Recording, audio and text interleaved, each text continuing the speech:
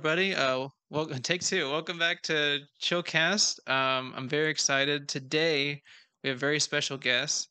Um, would you like to introduce yourself? Uh, Sure. Hi, my name is Spencer Rothbell, and I'm an animation writer and voice actor in cartoons. um, and yes, uh, a couple weeks ago, cool, I guess now, a couple months ago, um, I direct messaged you.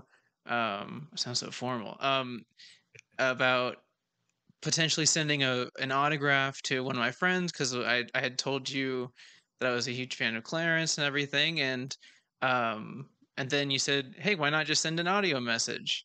And by the way, I already told you this, but my friend Taylor absolutely loved it. Oh, good. Uh, for context, uh, audience, he sent a message as Clarence, as the character, and um, he just thought it was awesome. So I'm just thanks again for that. But that is the origin story of all of this. Um, and you said, uh, I don't know if jokingly at first, you said, "Hey, when when can I be on the podcast?" And I think I just lost my mind when you said that. Um, no, it wasn't a, not a joke at all. I was like, "Well, hey, you're doing a podcast. Let's let's do it. It sounds fun." So j- just to get us started, um, I had like some some prepared questions. I wanted to start off with, uh, what did you see yourself doing when you were a kid, like job wise or just in the future?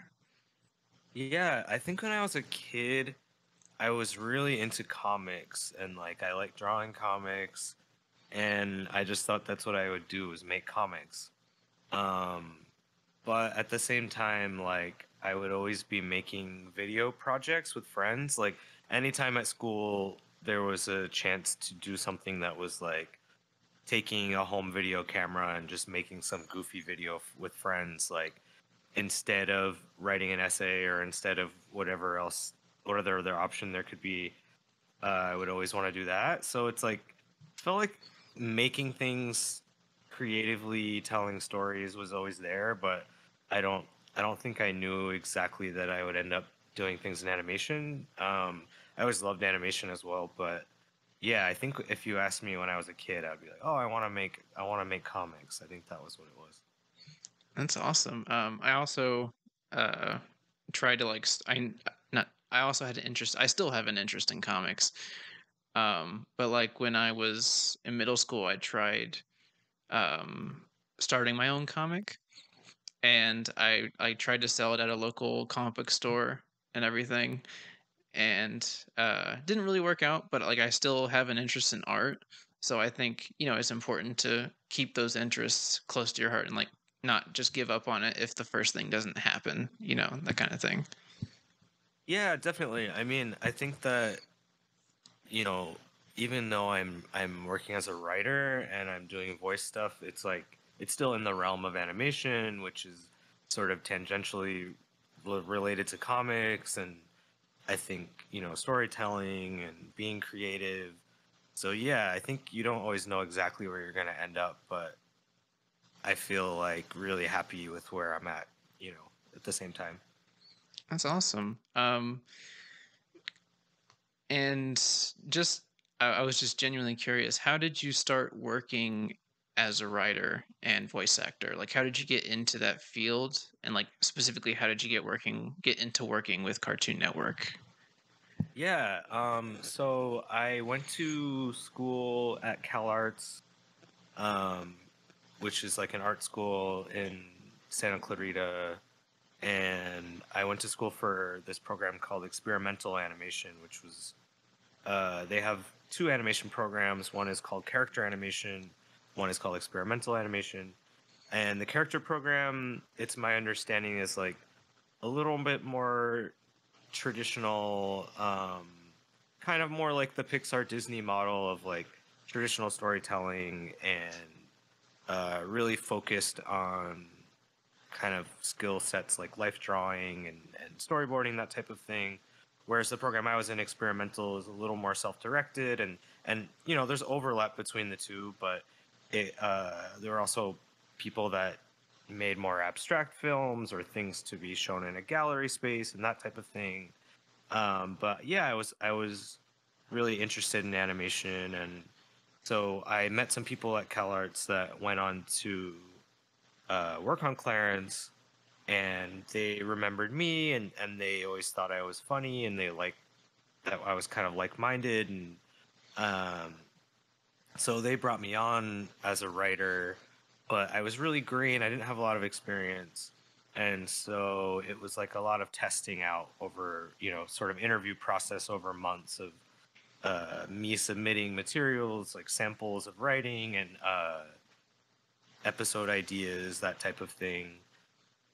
And then even when I came on, I was kind of doing like rewrites. Like they would be like, okay, the network has this note. Can you uh, address this note and like rewrite this scene? Or can you make this funnier, rewrite these jokes or dialogue or whatever? And then after a while, I was writing my own full episodes.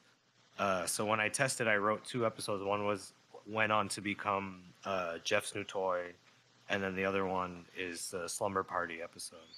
Uh, so those those two were like the I wrote Jeff's new toy first, and they were like, oh, this first season, like the network really wants all the episodes to be more about Clarence. Like this is too much about Jeff. Can you write one more about Clarence? So then I wrote the Slumber Party one, which had like the B plot about Jeff and Sumo. Um, so yeah, it was like really learning kind of on the job for the most part. Like I, I felt like because my the program I was in, it was more geared towards like the skill set of animation. Um, I didn't really know a lot about the animation like TV industry. So yeah, I learned a lot on the job, and I remember just asking people like, okay, what is this person's job? What do they do? What does this mean? You know. Um, and then eventually our head writer left the show and i was promoted to the head writer on that show um, and then the voice of clarence uh, left the show and i took over as the voice so that was because I, I was doing a lot of like temp like audio for animatics as as clarence and other characters um, and so they asked me to audition and i did so it's like a really crazy like whirlwind first basically first animation job to go from like zero to 100 really fast Mm-hmm. um, which I'm I'm grateful for, but it was also like a crazy experience in other ways too. So So how did you like record the auditions? um well, I they just had me come in like everybody else. So we auditioned like I want to say like a hundred people or something for Clarence. So at that point I was the head writer and so like I was listening in with the showrunner to all these auditions and it just felt like no one was quite nailing it and then eventually they asked me to audition and i did and um, yeah everyone just had the same uh, script to go off of it was like a selection of dialogue from an episode and yeah and so i did it and they liked it and that, that was it and then i kind of just went from there so yeah majority of the show the voice is me and then I say like every episode of the show, apart from the pilot, I didn't work on the pilot. I was brought on after that. Um, but every episode of the show, apart from that, like I had some kind of writing in it, one way or another. Wow. Um, so, what advice would you have uh, to people trying to get into voice acting? Maybe not specifically at Cartoon Network, but just in general. Like, Yeah. Um, for voice acting, I would say you. I mean, it's it's kind of similar to to becoming like an actor, a live action actor. It's it's a lot of auditioning and um, making a reel. Um, so yeah, make a reel, just samples of different voices that you can do to show off your range. Um, and then yeah, I mean, just you can start off working on student films, maybe do some voice acting if you have a friend that's making an animated project or something like that. Um, that's the way to go. Just kind of do it on your own and put stuff out there. I think there's like a couple websites for like non-union voice acting stuff, like Voice One Two Three or Voices.com or something like that, where you can kind of just like upload a profile and people can seek you out and uh, hire you on for projects. And then yeah, hopefully after a while you get kind of enough of a portfolio under your belt that you can start to get bigger roles, maybe go out for commercials, that type of thing. Um, and then if you get to the point where you can get representation, then they'll send you auditions and that kind of thing. But uh, yeah, I mean, it's it's nice nowadays because you just kind of do it from home and um, just upload audio files to websites, and it's uh, pretty convenient in that sense. Like post pandemic, it's pretty streamlined. I, I do I did notice that like um as soon as the pandemic hit, like um a lot of people obviously had to get microphones for their job. Mhm. Um, in general, whether it was creative or not, but um, and I always just thought it was funny, like fu- people like kind of it was just kind of it was cool, obviously, but it was obviously for a depressing reason. But like it was cool to see so many people get into the world of audio specifically, like realizing, oh wait, I can't just plug this microphone straight into my computer. I have to get an interface, and then like because I had like friends who talked to me about that, and like you know just it was it was a cool moment to see people who would nu- normally have no interaction with audio be like, "Oh, now I need to understand this. Can you help me understand this?" Um, Yeah, but yeah, definitely like working in animation. Like, excuse me, I it's it was interesting because you know I started on Clarence in like 2013, Wow. 14, something like that. So it's like been been like 10 years, and uh, it's crazy to have started like right on the cusp of everything going to streaming and then also like before the pandemic and after the pandemic like i feel like the animation industry changed a lot in that time where like you know on clarence we were making it for tv for cartoon network specifically and now it's like everything that's being made it's kind of either being made directly for a streaming service or even if it's being made for cable or for a tv network it's kind of also being made with the streaming service in mind, like a package deal sort of thing. Um, so it's been it's been interesting to see how that all changed, and then and then yeah, like the entire pandemic, working from home and like figuring out how to do a writer's room from home and like voice acting from home, all of that. Like it's just really different, you know. so um, what was your favorite uh like recording experience on Clarence specifically? Yeah, I mean, I'll say in general, like something I really loved about Clarence was that as much as possible, we tried to do like a cast record, which is where like everyone's in the record booth at once and there's everyone has their own microphone and you kind of just like give each other a little bit of breathing room to like record, but you're all doing it at once. So what I like about that, which not every show is like that. I don't know how many people realize that, but like some shows, it's just every actor is kind of just split, and you're just you come in, you record your lines by yourself, and you leave. And what I loved about that is it like gave us all room to improvise and like work off of each other's energy, and like if someone ad libs something funny, you kind of you know exactly like what um, direction they're going for with their character, so you kind Mhm. of know how to respond, and um, that was felt really special because even since then, not every show I've been a part of with voice acting has done that.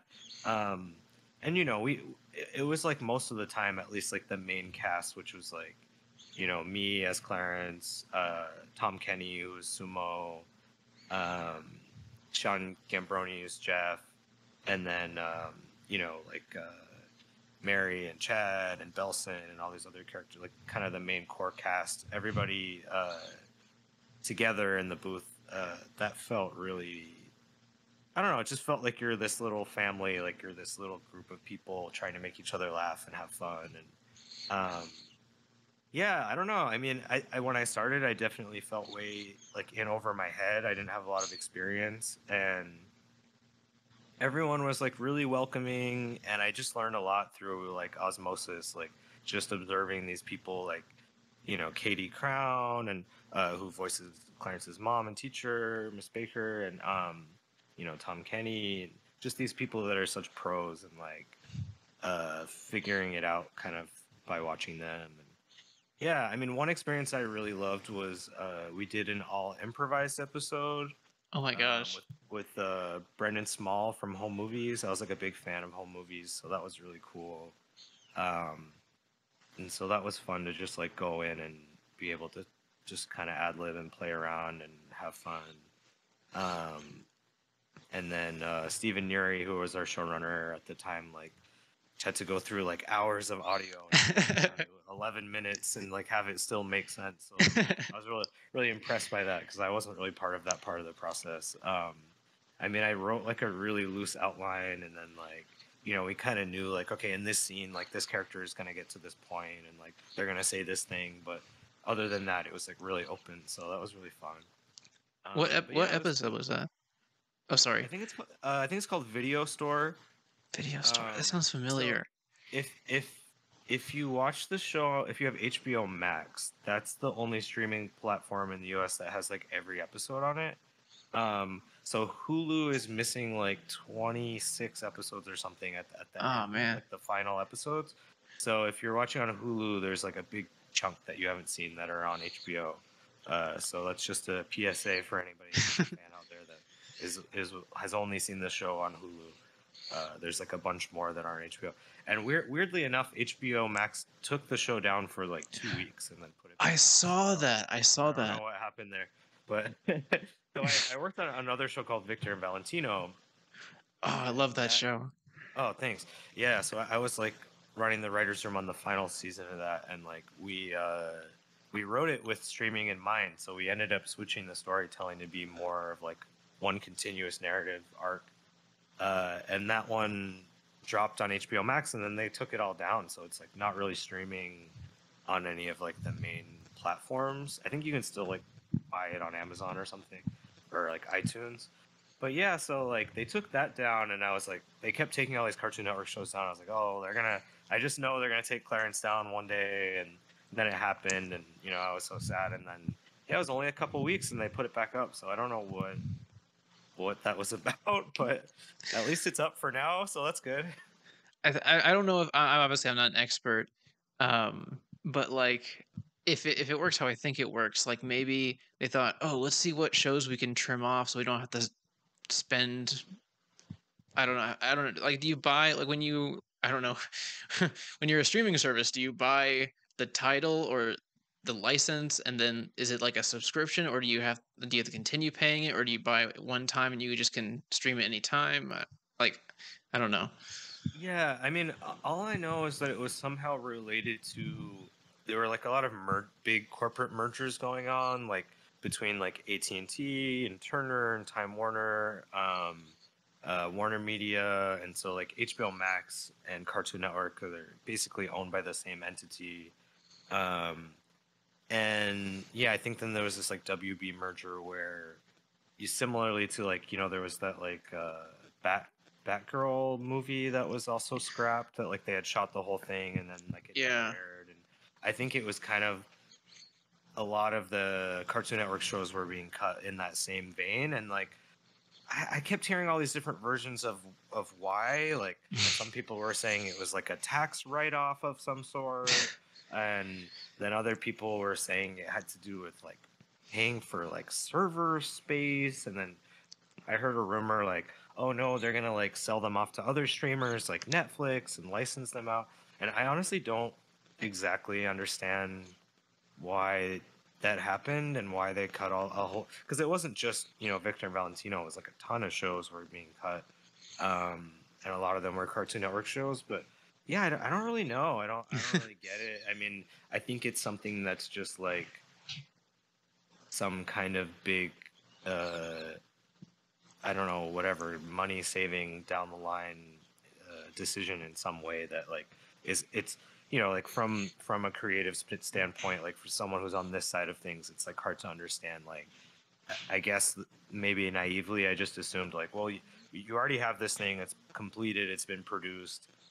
Why not just have it up forever? But maybe maybe there's there's some logic to it that's like purely financial that i don't quite understand but I just think it's like I mean, from the the very very minute amount of knowledge I have about streaming services and how they work, I think just think it's silly to drop like cartoons that are have a known fan base or at least a very like committed fan base. Because like, I don't think I've ever talked to somebody that said they've disliked Clarence or they've disliked Victor and Valentino. Like like most people have like either a neutral opinion or they have a very high opinion of the show. Like um like I brought it up to one of my friends. I was like, "Hey, have you seen that uh, Clarence episode?" Like a couple of years, ago, I was like, just having a normal conversation. And they're like, "Oh my gosh, I love that show! I can't believe you're talking about it. Not enough people are talking about it." And so, like, I just don't understand it because, like, from a pro- if you're gonna, you know, go strictly on profit, it's like that show is one of the main things that's going to bring people to the service like you know their nostalgia and their you know desire to watch cartoons they liked again like i just think it's kind of silly but i don't know yeah i don't know i mean i think also what's cool about it airing or streaming on hbo max is like it seems like a lot of people that hadn't really maybe never gave it a shot when it was on TV are discovering it. So there's kind of a new audience for it too, hmm. which is something that I was hoping would happen. And like, you know, just from what I've seen online, it seems like a lot of people are like, oh, I never really watched this show. Now I'm like marathoning it and I actually really like it. And, you know, I, I thought it was going to be this other kind of thing. And I ended up really liking it. So I always say, like, oh, I just hope people give it a shot if, like, maybe they saw a commercial and they're like, oh, this looks annoying or weird or something, you know, like, like, uh, I never felt like the way it was advertised like completely get did it justice to like what we were going for anyway. Um, mm-hmm. So yeah, it's cool. It's cool to see that, and like I don't know how old you are, but it's also crazy to hear people saying like, "Oh, like I have nostalgia for it." Like, well, like, like to be... it's it's cool to to think of like maybe people that were kids when it first came out, and then like now are a little bit older and maybe can appreciate it in a different way or something. So I was in. Uh, so when did when did uh, Clarence first air? I think the pilot came out in 2013, and then the series itself premiered in like 2014. 2014. So I was in like late middle school, early high school, if I'm remembering correctly. Um, so that was like, yeah, that was like you know big, big, big time, big time for me. Um, and so I just remember watching that show a lot, like after school. Uh, right now, I'm obviously I'm in college. Um, around I'm 19.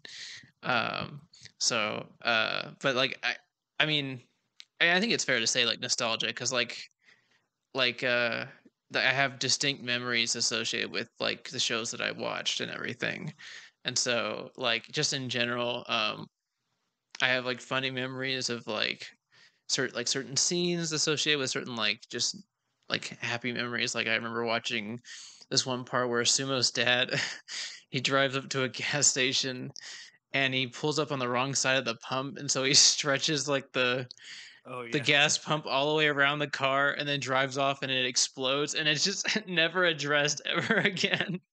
There's like no consequences for the fact that he detonated an entire gas station.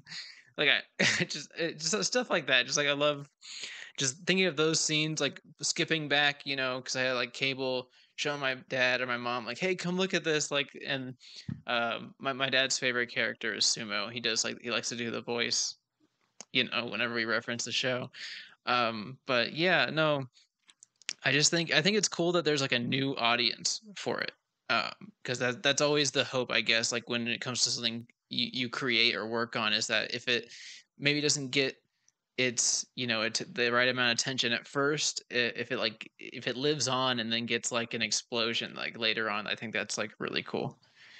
Yeah definitely. Yeah i mean it's just cool to see that like it means something to people out there and like i always felt like it, it almost felt like we're making this weird thing that wasn't for everyone and like we didn't quite know if people would get what we were going for and yeah, it's like it's really grounded and realistic at some points, and then it gets like really cartoony and crazy. And like I think people maybe didn't quite get like which which version of a show it was or something, or like that it they didn't understand that it could be both. Where it's like, okay, is it like King of the Hill or is it like this crazy sort of SpongeBobby show? Yeah, I think it was just kind of everything we liked. We were just mushing it together. So.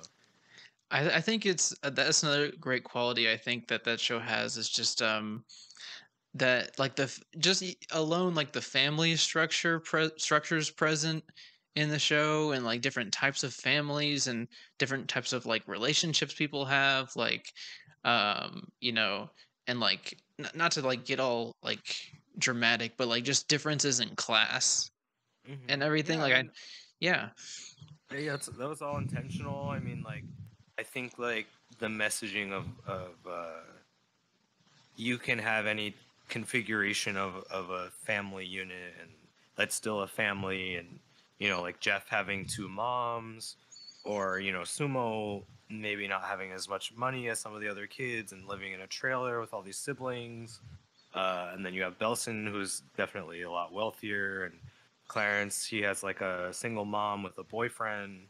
Um, and I think, yeah, that was always kind of by design to show like, hey, all these kids can be friends and they can still have like loving parents and that's still a family unit and it doesn't Yeah. look like what we've seen mostly represented on TV and hopefully give kids out there whose families might not look like a lot of families they had seen previously represented a little bit more representation and the feeling that like oh okay yeah this is normal this is fine you know and that that's just another one of the uh, one of the many things I love about the show. Um, I think what line says it best, um, or just describes that best, is um, in I think in the first episode of like the first official episode of Clarence. Uh, Clarence, I think it's like Clarence has a day, a fun day with a girl, or something. I think that's like the title. Um, pretty great day with a girl yeah, pretty pretty great day with a girl. Um, he he's talking to her and she's like moving, and he's like, oh, he, she's like, oh, so are- are your parents uh, some- something about your parents? And he's like, um, um, I live with my mom and my and Chad. Um, I don't have a dad, but I have a Chad, and he's pretty cool. And I just that that line itself, just when I first saw it, like it kind of made me tear up a little bit. I'm not gonna lie, just because like just to see him, because Clarence in, in itself, like the character, is like the nicest person on that planet. Like he never gives up on people, and when he does, it's like really, really like heartbreaking to see. And so like when he just kind of expresses that like just optimism and like happiness with like himself and like his family and everything, it was just like nice to see. And it just goes back to like representation and everything. Just like to see that he's like very happy with his life and how you know his family is constructed and it's it's very it's a very tame way of just showing that kind of message i think Yeah, and I think that was always, you know, like a lot of times people would ask, like, well, who's his real dad? Like, who's his biological dad? And I always felt like doing an episode about that would kind of undercut that idea. Where it's Yeah. like the whole point is that we don't need to talk about that. Like, it's not relevant. Like, just like how, you know, we don't, like, Jeff has two moms and that's who his parents are. And, like, that's it. Like, and he's happy with that. And Yeah. So, like, I think, I think that was always kind of the idea that, like, it's that's fine and like showing how the characters are like content with that is important. And um yeah i think also going back to what you said about like representing it in a subtle way like that through dialogue or I, that was always like the idea for us too where we never wanted to feel like we are being preachy or like heavy handed about anything where yeah. it was almost like this this uh philosophy of storytelling where it's like okay we're just going to represent this scenario as like truthfully as we can and then whoever's watching it it's up to them to kind of interpret the meaning however they want and kind of make up their mind about how they feel about it. Um so i think i think that's also really important to to me in terms of the writing to maintain that uh sensibility where it's not like okay we're we're telling the audience this is how you should feel about this issue or this person's bad and wrong and this person's good and they're right and it was more just kind of left open to interpretation. I think that was always like something that we, we wanted to respect kids watching too where you know i think we were feeling frustrated where when we were growing up there was a lot of stuff made for kids that felt like it was almost like talking down to them. Yeah. we always we always thought like okay it's it's more important for us to just re- you know especially making a show about the experience of being a kid um to do that in a way that felt true to life and and was respectful and that it was like hey like we understand that these things are important to you and that's real and like that's what it's like to be a kid and you're just like a younger person like uh, i think that was always something that we tried to keep in mind as much as we could and uh, I that's just what makes that show so great. That show so great. Um, I think it really does capture what it's like to be a kid because um, mo- most shows um, that obviously I'm a huge fan of um, are are fiction more fictional than others in the sense that like you can love the characters but like there's not really much attainability in the sense that like you like you can still enjoy it um but like you don't you don't you go oh i remember i had a time like that i had a day like that or i had a memory like that. Like for example steven universe i'm i'm a fan of steven universe but like you know realistically um I can only really enjoy it from like a viewer's perspective. But with like Clarence and shows like that have more of a grounded perspective, I can go, oh my gosh, my friends were just like that. Um, we we did this after school.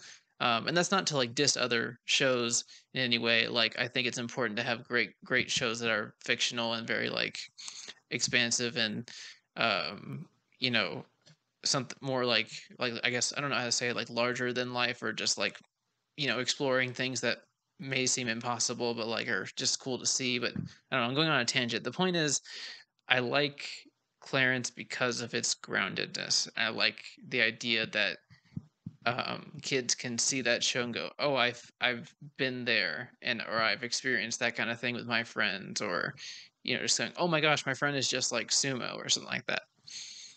Yeah, I mean that was another way that we would write stories too. Is like we would come from the place of like, okay, well, what's an experience that one of us maybe had as a kid that we've never really seen on TV before, and how would we maybe do a version of that story with the characters or maybe it's something we have seen on TV, but the TV version of it kind of gets it wrong. Like, what is what does this actually feel like? You know, like what's like the cheesy version you've seen a million times on TV, and then like what well what would really happen, or how does that actually make you feel as a kid, and trying to come to that conclusion.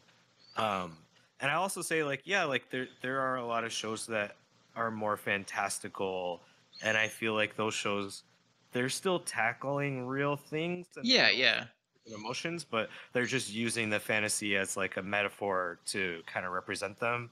Um, and I also say Clarence goes to like really crazy, fantastical places sometimes too. and like, I feel like we would use a lot of the time, it's like, oh, it's through his imagination, or it's like a dream, or he's giving a presentation at school and he's telling a story, or, you know, we, we would often like figure out little ways to get around like okay we want to do this like crazy weird thing and like how can we how can we make it work within the framework of this show like oh okay it's like we're using some you know a shift like we're seeing this from a different character's perspective and it's going to change animation styles or whatever like so it does get really experimental sometimes too but yeah we always wanted there to for the most part i think there's a few exceptions but we, for the most part we would always have that kind of grounded reality in there, and and maybe the the, the shift in that was like a joke or like a, a shift in perspective, that kind of thing.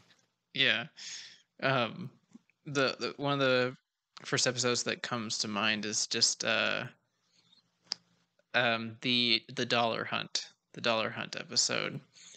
So like, yeah, like all Clarence has invited his friends and then a bunch of essentially strangers um, but like friends that like go to school with him that he doesn't really know very well, and he hides like he hides. I think the plot twist is that he hides like a lot more than one dollar for people to hide. I think for for people to find. I think it's like the money that his mom gave him for grocery shopping or something.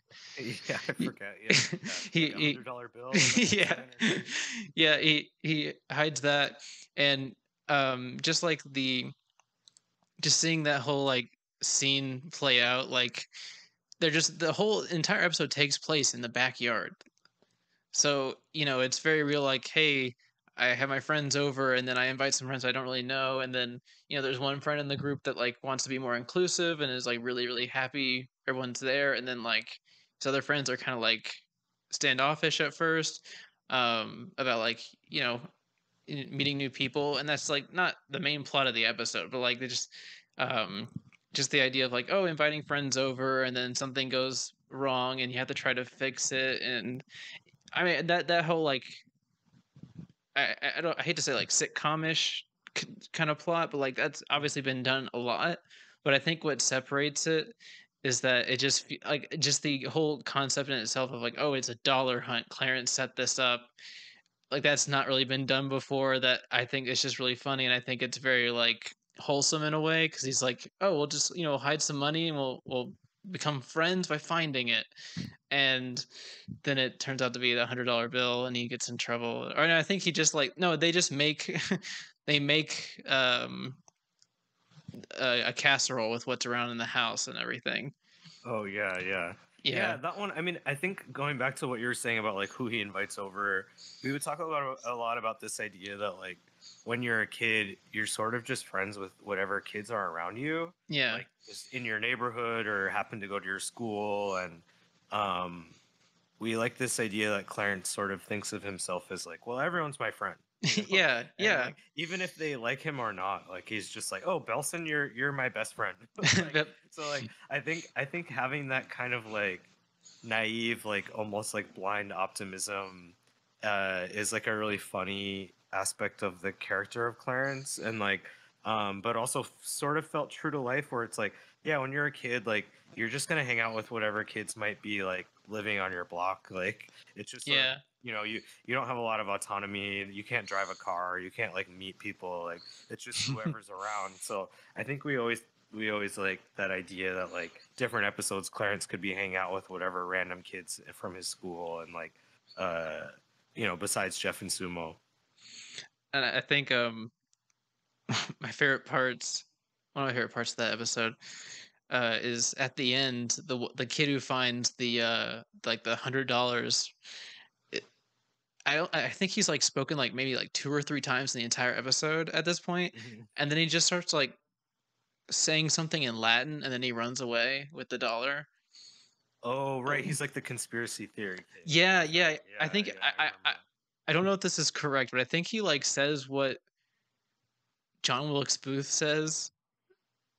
I don't. I. I don't think that's it. I don't think that, I if mean, that's honestly could be something like that i don't Like, remember but that might be a Mandela effect or something. Yeah, maybe he says something that he does say like someone's a cannibal, right? Like ex president was a cannibal. yeah. founding father. So, some something that I'm sure someone out there would find very blasphemous and offensive. But I just remember- in, in Clarence where I was like, how did how did they let us say that or do that thing? It was very like very edgy in, in a subtle way or something, you know. I was a lot of wondering about that. implications in the show. I think like I think we would always just kind of push the envelope of like, well, this is making us laugh, and we're not doing anything like explicit or like horrible, and like hopefully people out there also think it's funny. Um, it was it was usually just like in good fun, like just being weird and trying to make each other laugh, more or less. Uh, but yeah, there's there's definitely some stuff in in that show that like we got away with that I was surprised by. Uh, we did have like a TV PG rating, which is like I think the same rating as like a sitcom like Big Bang Theory or something like that, where like you can get away with like innuendo and stuff like that. But yeah, it always felt kind of random what they let us do or not. It was just kind of like whatever executive or uh, standards and practices person we got that month or something. Yeah. It's like, okay, sure, I don't care. Like, keep, keep making your cute show about kids. Just casually quoting John Wilkes Booth, you know, in Latin. yeah, I don't know if that's what it was, but I don't I think don't. I, don't- I didn't I- write that particular dialogue. So I can't claim one way or another, but it's probably not. But like, uh, I do appreciate shows that kind of push push the boundaries when it comes to humor. Um, like just nothing nothing that's like derogatory, but it's always just something that's like, oh my gosh, that's in this show. You know that kind of thing. yeah, yeah. I think like with Clarence too, it's like we did a lot of those like they call them like gross ups, like really detailed, like painterly, like a Ren and Stimpy or or SpongeBob style. Like, Yeah. I think those those we push pretty far sometimes. Like there's one episode where he got sick and like he sort of deteriorates throughout the episode. Uh, he gets sick from eating like a bunch of deviled eggs, uh, and there's one of those paintings that like we kept going back and forth about like the detail on it. It was like okay, like get rid of some of these boils and some of this sweat and drool, and then like change the color, and then it's okay. And I think we were even like haggling about how many seconds it could appear on screen until they finally let us do it, and it's like really brief. but uh, yeah, there's there's some like crazy episodes in there. Like there's there's an episode Average Jeff, which has references to American Psycho. Uh, which oh I my don't know- gosh. I don't know if they knew that at the time, but like the whole intro is like basically a recreation of like the opening of that film.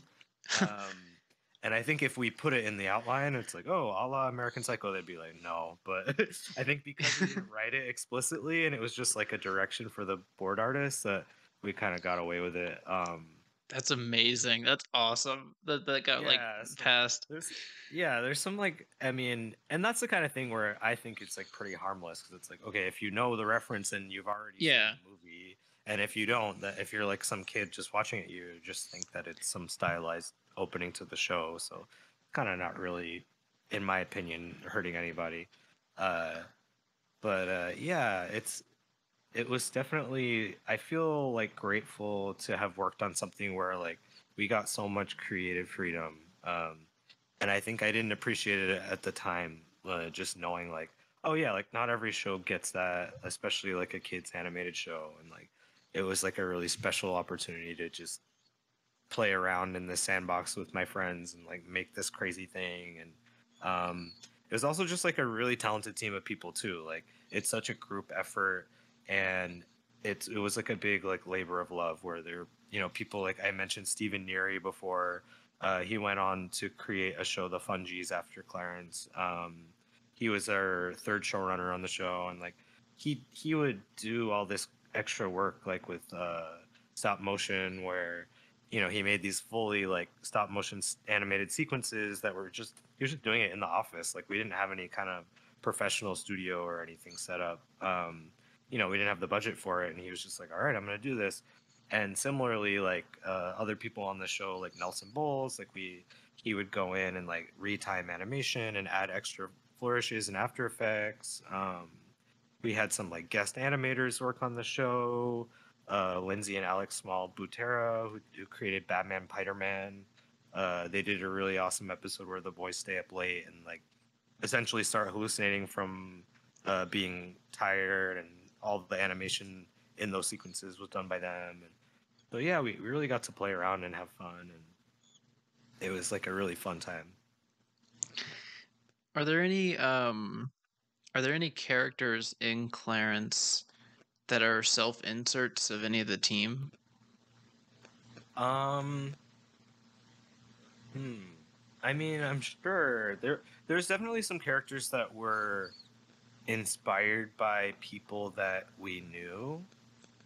Um, I'm not gonna say names because I don't know. like legally, I don't. know. It's like a dicey territory, maybe. oh But, yeah, yeah. There's, there's definitely like characters where it's like, oh, this is like basically a kid I grew up with, or like another person. It's like, or kind of amalgams of people like Jeff and Sumo and Clarence. Like, there's elements of them from uh, like real people and people's lives that worked on the show.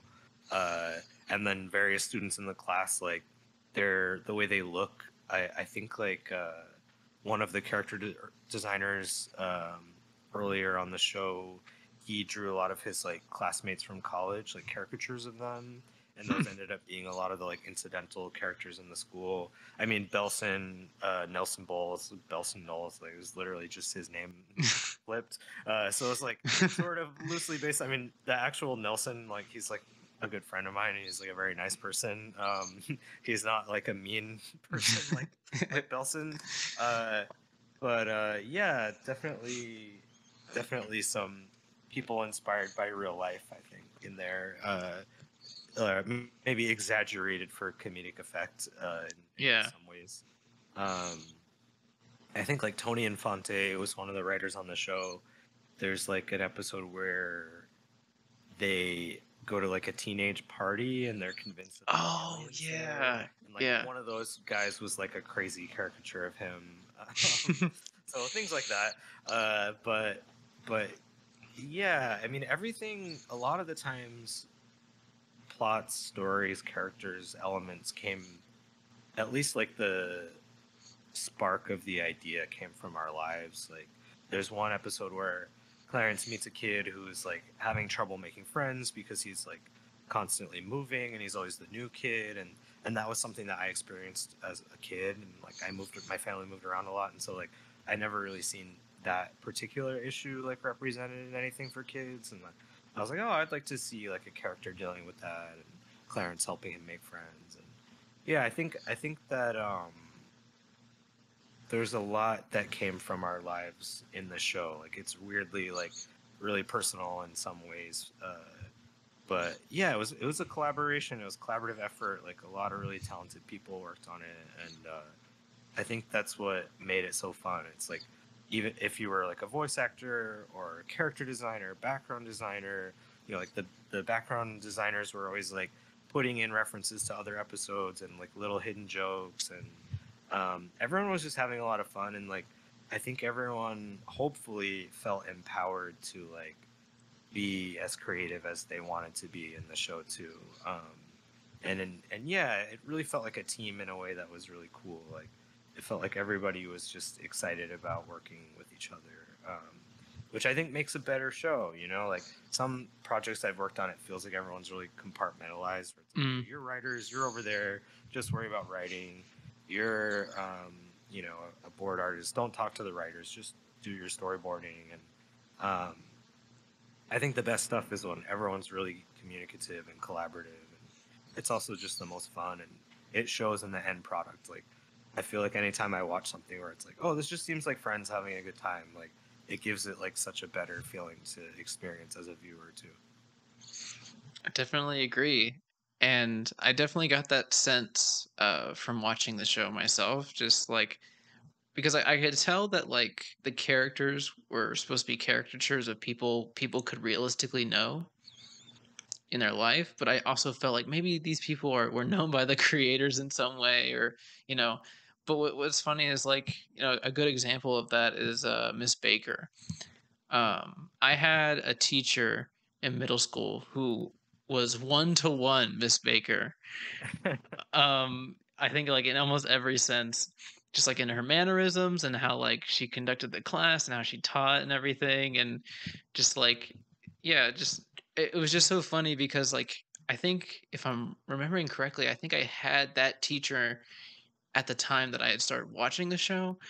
And I just felt like this weird, like, wait a second, I feel like I know this person. And then, like, the next day I went to school and I was like, oh my gosh, it's Miss Baker, but not Miss Baker. so yeah, I think, I mean, yeah. I I love that character. There's definitely like a um there was a college teacher at Cal Arts that I know was like partially the inspiration for that character. um but then I think Katie Crown, who did the voice of uh, Miss Baker and Mary, Clarence's mom, like she brought so much personality to those characters, uh, and she's so funny, and you know, like she would ad lib a lot, and just from her performance, uh, she really made those characters what they are too. Um, yeah, and and I think that was also something too where we we wanted all the characters to feel like real people and like that you know miss baker was a person beyond just being Clarence's teacher and like yeah. whatever she had going on uh whether it's like you know the episode where she's on the blind date or you know, I love that episode. crazy, craziness that's going on at school and her trying to like handle Clarence and his wackiness and um you know like we did these episodes uh the stormy sleepover. It was like a six episode story arc where we tried to pair off different groupings of characters. So there's one where she gets like locked in basically like a convenience, like a 7 Eleven with Clarence and some other characters. And it was always fun to explore some of those uh, side characters a little bit more, like especially as the series went on. Um, I think like you mentioned the uh, blind date episode. Um, I, I, that's one of my favorite episodes. But um, what's funny is I, I grew up with my, both my parents are teachers. Oh, okay. So, so from the get go, I understood that teachers had lives outside of uh, school. But I was showing that episode to my mom once, and she started laughing really hard. And I was like, "Oh, what's so funny?" And she's like, "I did the exact same thing to my teacher when I saw her in the grocery store in middle school." Like I walked up to her and I was like, "What are you doing? You're not at school. What are you doing? Don't you? What are you? What are you doing?" And, and she just you know couldn't comprehend that teachers didn't just live at the school. Yeah, I feel like one of my favorite gags in that is like Clarence imagining her like just sort of shutting down and like recharging like a robot when she's when he doesn't see her at school. Like it's just plugging a big cable into her back and like going limp. I think that image was funny. And yeah. Then, yeah, there was this other one where it's like we tried to think of a visual metaphor for Clarence like having a, a light bulb moment, and we're like, oh, it's a it's a potato falling into a mud puddle. So there's like a stop motion animated sequence where he like has a eureka moment of like, oh, she's a person, she's not just a teacher. Um, And then I love that like weird old man character that is just like the worst possible blind date for her to be on. And we we brought him back I think like once or twice after that in a couple other episodes. Uh, oh yeah, La- Larry, which is uh, short for Clarence. Also named Clarence. yeah. I think that yeah. character in itself is a, a great, great, uh, great character because like in that episode, he's just like the comedic, you know, I don't know, uh, he's a comedic character. But then like I think there's like another episode where he's brought back, and he's just like walking on the side of the road with Clarence Sumo and Jeff, and he like takes them to get ice cream, and he just like writes down everything about them, and like like you at first like I mean now outwardly you could see oh that's kind of odd, but then yeah I think you you later realize he's just like this normal like guy who's kind of like maybe he has like some memory problems or maybe he has like some sort of condition that's why he has to write everything down and then because at the end like the whole wholesome like end is that like he remembers what jeff's favorite flavor of ice cream is or something like that yeah i guess we i don't know like it, it sort of developed into this guy where we're like well what if he just is like constantly observing and like he just writes everything down but then it sort of makes him impossible to communicate with. Like he's just consulting notes and like writing yeah. everything you're saying down and sort of not like being present in the moment at the same time. And yeah, yeah, it just seemed like a weird kind of quirk. Like I don't know if we ever like imagine like oh he has dementia or, or anything that like serious. Like oh I've seen like, I've seen interpretations like that where I was like oh that I feel like that's a little darker than what we thought it would be. It was more just like oh, he's just this like kind of eccentric guy. Yeah. Maybe he's like a bit of a hoarder. Like his home has all these like stacks of all his notes from all over the years, but he also like has gone on these adventures. Like I think there's like one picture of him like shaking hands with like Richard Nixon or something. just like, give him this like mysterious backstory.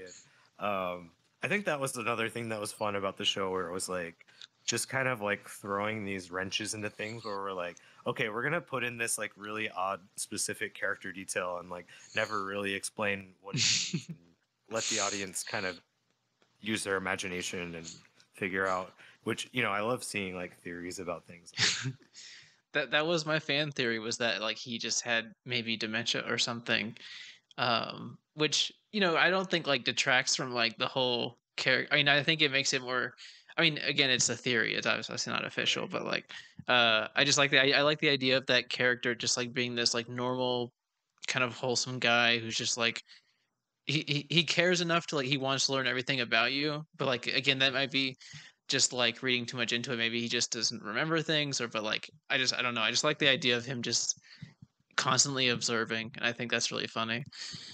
Yeah, and we never wanted to be like, oh, this guy's like creepy or something. Like he's just like a weirdo. Like I think there's a lot of times when we're coming up with these like strange characters on the show where like the network's like, why is this old man alone with a child? it's not anything like weird. Like we're not going for that. Like he's just like Clarence's neighbor, and he's yeah. Like, Clarence, Clarence, I think what I love about the character of Clarence is like he sees everyone in such a positive light, where like maybe other characters might be like, oh, this guy's strange. I don't know. And like Clarence just is like, oh, he's great. What do you mean? Like, there's nothing wrong yeah. with him, and he's right. You know. And like, I think what's funny about that too is like maybe Clarence can feel that way about a character like Belson or Miss Shoop, where it's like sometimes a little undeserved. where you're just like, maybe maybe Clarence is wrong, like you know. And I always thought the idea too, where it's like Clarence is like, oh, this person needs my help, and I'm gonna help them, and and maybe the person is like, I just like sometimes with Belson, uh, it's like he's like, I just want to be left alone. Like, like, I almost feel sorry for Belson. I'm just like, well, he's he's telling you what he wants. You're not listening. like, Clarence can be so unrelenting, you know. Yeah. About that to me. Um, I just like what comes to mind is like Clarence visiting Belson at the hospital and giving him like a huge like sub sandwich that's like comically large. yeah, it's a party sub. Oh, yeah, because you wanted to have a party with Belson. It's like one of those ones that you would get like catered. little, yeah. Clarence like just somehow gets it. Elevator. Yeah, I don't know. got a coupon or something. Um, yeah, yeah, that one. That was one of the episodes where I was like, okay, Clarence is is almost being like a like he's almost torturing Belson. Like there's part of me that was like, oh, maybe we went a little too far with this one, where Clarence comes off as a, a bit annoying at times. But like, like I can see, like I, that's one of the criticisms I've heard of the show, where people are like, ah, he's, Clarence is so annoying. I love Jeff and Sumo, but Clarence as a character, I don't like, and I don't know. I it's hard for me to see it like that because I voice Clarence, but like, I, guess, I, guess, I get it. I, I guess sometimes if he was a real person, I might find him annoying, but since he's not, I, I think it's funny. But so this is a, a very like not, not a very great interview question, not a very like professional question. Uh, but you hold on one sec. I, I, I have to plug in my computer. It's like uh, yeah, sure. Today, one sec.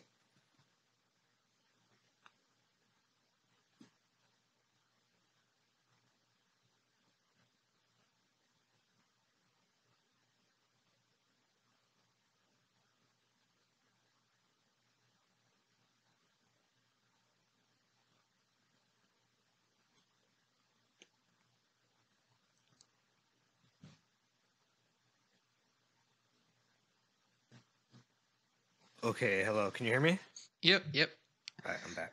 Um, so uh, I have.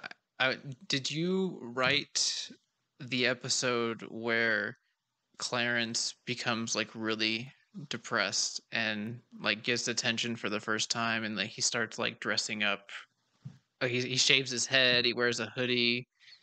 He gets really sad and like he's like visibly not mentally well, like he's not doing okay, and like he he like is because like someone like uh took his doll from him. I think. Yeah, that's a uh, little buddy. Little buddy, I'm yeah. Looking at, I'm looking up the credits because I want to give credit was due. So yeah, written by me, Skyler Page, and Katie Crown, uh, who's the voice of Clarence's teacher and mom. So, but yeah, I have the they got the story credit, and then I got the written by credit. So usually, like basically the way that would work is like whoever's in the writers room would get the story credit because we all worked on it and then the written by credit would go to the person who like actually wrote the episode. Uh, so yes i did. Just want to confirm I, you know there's like over 100 episodes so sometimes i forget um, yeah. who wrote what and i just didn't want it and especially because like i'm in the writers room for like most of the all like basically all of them. Um, so I, it feels like I wrote at least I wrote something that's in the mall. But yeah, so I did write that one. Um, Little Buddy, yeah, that one was very funny and weird and a little dark. Uh, yeah, I think I, that one was like this idea of uh, when you're a kid, you don't have a lot of agency or autonomy and you're basically just kind of at the whim of adults who are around you. And adults can make mistakes and do things that aren't always right. And i think clarence like has this really strong sense of justice and right and wrong and um, mm-hmm. felt like his punishment was unfair. Like he was just trying to make friends and it was like a misunderstanding because no one else liked his weird doll that he liked. He, he couldn't understand why and uh, so then he gets put in detention by Miss Shoop, who's sort of like a school detention proctor, recess, you know, uh, yeah, or I don't know what the name is for that, and uh, she's like, "Oh yeah, you're gonna." Oh no, it wasn't detention. She puts him in timeout, and it's supposed to be like a brief timeout, but she forgets about him for the entirety of recess. And then the bell rings, and she realizes, "Oops, you know, oh whatever." You can go to recess tomorrow. And I think what we were thinking about at that time is like, for a kid, that's like a big deal. For an yeah. adult, it's like, who cares? You'll have recess again tomorrow. What's the big deal? Like, who cares? It's not, a, you know. But I think it's really tough when you're a kid when something happens that feels like, hey, that's so unfair. Yeah. there's like no sense of justice there, and I just have to go along with it because I'm a kid and you're an adult, and that's like the power structure there. Uh, and I think, you know, like that can be really frustrating. I think there's a lot of stuff that's frustrating when you're a kid. yeah.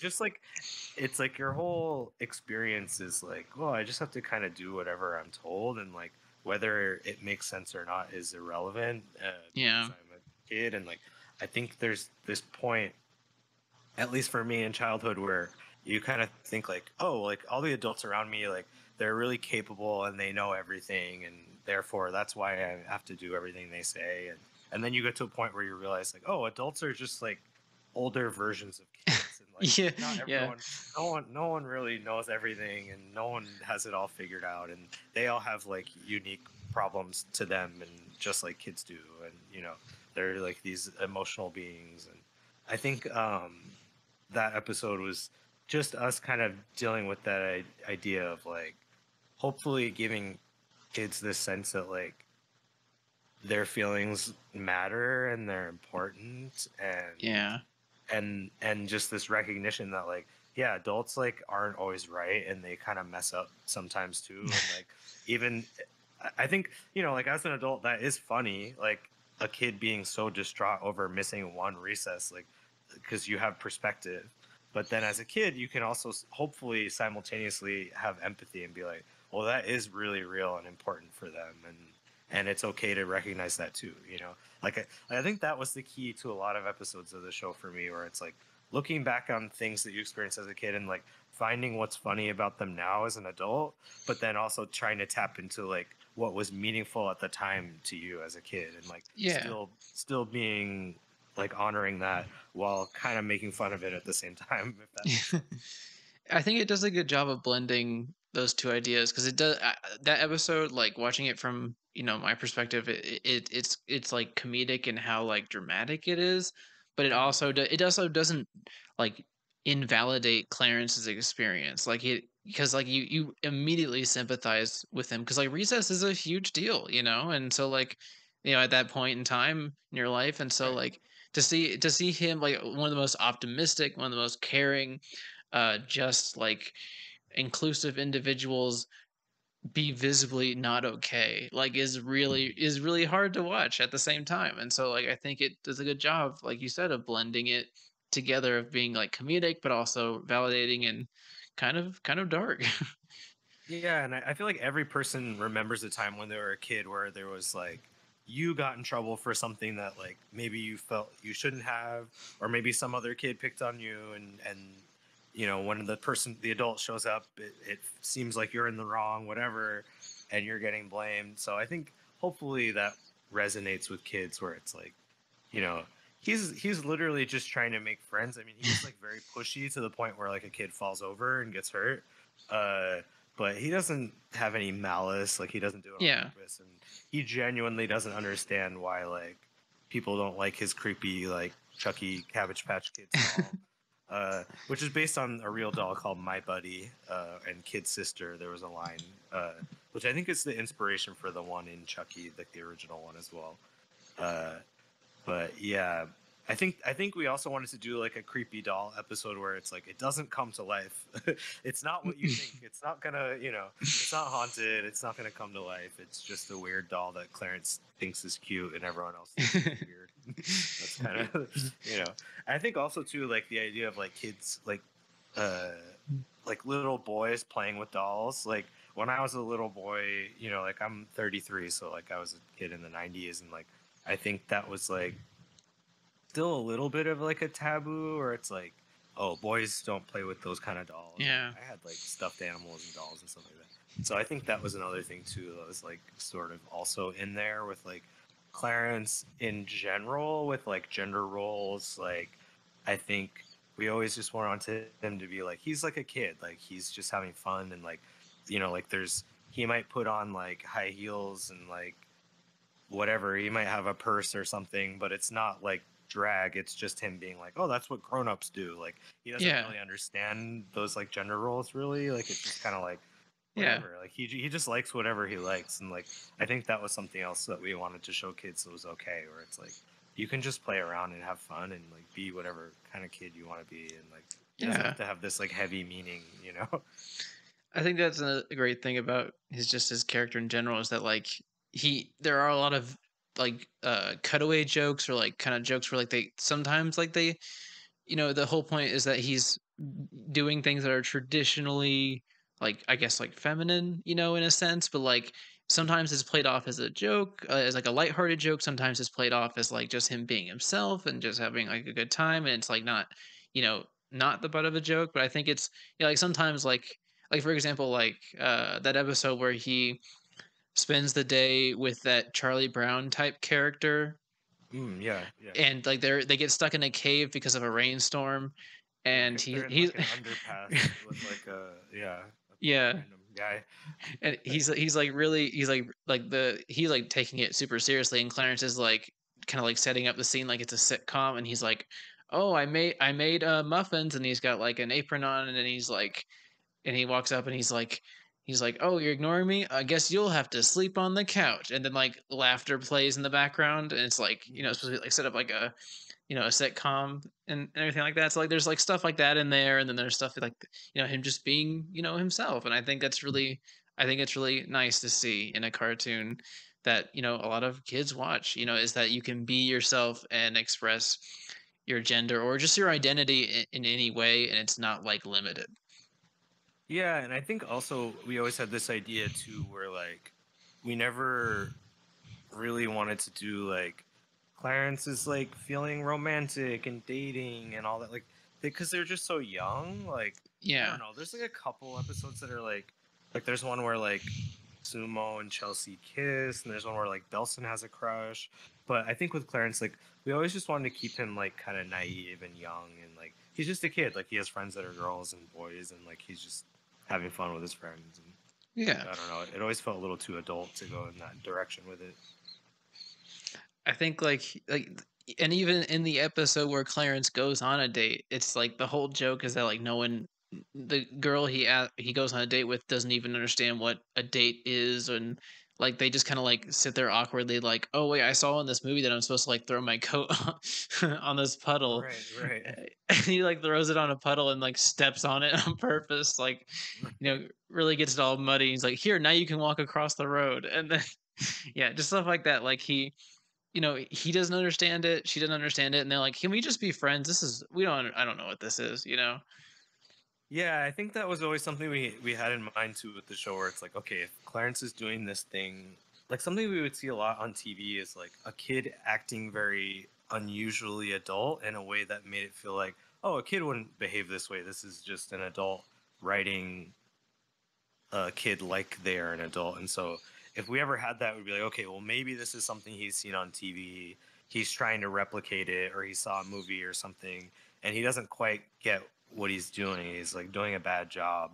Um, so I think that was always how we kind of would understand things like that, where it's like he doesn't know how to be on a date, but maybe he's seen a movie where someone's on a date, so yeah he's like kind of missing the point and and acting like he's play acting, like playing house or something, you know. yeah um yeah i I, th- I think that's awesome and uh i don't know uh I, before before we end it i want to th- say thank you so much for doing this. Um and it's it's really cool uh to talk to you about like something that i'm also very passionate about in general um just like as animation as a as a medium for you know expressing stories and and ideas and you know you know validating kids experiences and everything. I i i, th- I think it's pretty cool uh that there are cartoons out there like that you know that are kind of changing the mold and everything um and my, my last question is uh, this is from uh, someone who watches the podcast they ask um how does it feel to play the most underrated cartoon character I don't know if I'm the most uh, if if Clarence is the most underrated. Uh, I don't know. It's something that I think is uh, how do I put this? Some of my favorite things are things that a small group of people like a lot. and I think that's how Clarence feels to me. It's like the people that like it really love it.